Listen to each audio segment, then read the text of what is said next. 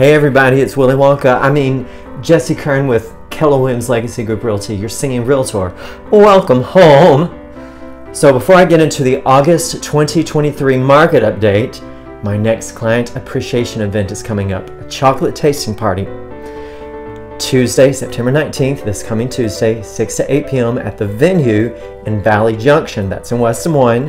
And the Chocolate Storybook is going to do the chocolate. If you want to attend, let me know ASAP because I've already given a chocolate count to the chocolate storybook and if I need to change that, I need to know it ASAP. And I'm doing a $300 drawing to the chocolate storybook. If you know someone that's thinking about buying, selling, or investing in real estate, send them my way and I'll put your name in the hat. There's three prizes, $100, $300, and $25. That's a little out of order, but the big prize is $300. And they're all to the chocolate storybook. All right, without further ado, here's our August 2023 market update.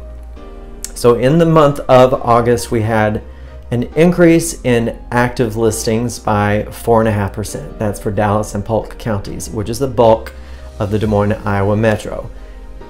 Pendings, the number of houses that accepted offers went down almost 16%. That is typical for the month of August because of back to school and the state fair. The number of solds went up 7.5%. The number of expires went down almost to 8%. Average days on market came down 18%.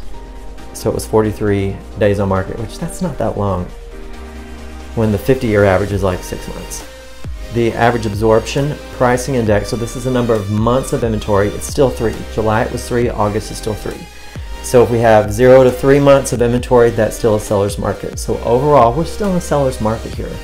Now it's not hot off the press, sell in the first few hours like it was 2021 and 2022, but it is still a seller's market even though rates are pretty much near 7%.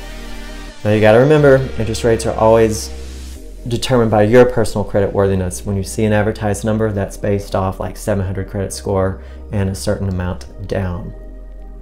Really, the main highlight is that the number of pendings went down both for Dallas and Polk counties, about 16% for both of those counties. Our average price for the two counties for the month of August went down a little bit by two, almost two and a half percent. For $357,621 is the average price. Now that includes new construction, which always brings that number up. What that means for you, basically, still a great time to sell and it's a good time to buy.